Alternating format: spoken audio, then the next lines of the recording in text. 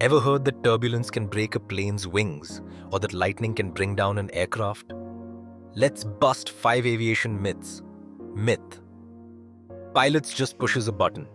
However, in reality autopilot helps, but pilots constantly monitor, navigate, communicate and manage systems. Myth. Engine stopping means the plane will fall out of the sky.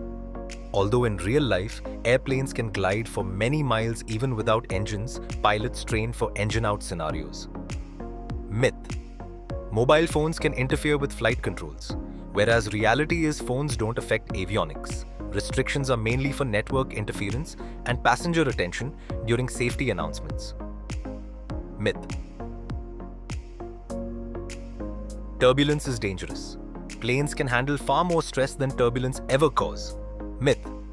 Lightning can bring a plane down. Modern aircraft safely channel strikes. Most passengers don't notice. Like and subscribe for more aviation insights.